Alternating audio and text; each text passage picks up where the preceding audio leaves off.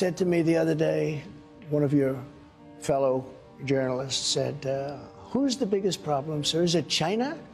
Could it be Russia? Could it be North Korea? No, I said, the biggest problem is from within.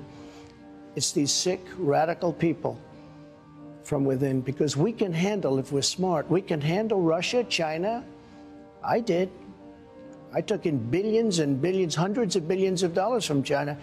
No other president took in anything, and they respected me. He's the same thing, you know. I told him, you can't go into Taiwan. You can't. You can't do it. I won't tell you exactly what I said, but it was something that probably a lot of people wouldn't like if they heard it. But it was very tough. Don't go into Taiwan. If you do, we're going to have problems. Other than that, we're going to be great relationship. We're going to have a great relationship. And he said to me when I said we're going to do something, if he goes in, no, no, no, you wouldn't do it.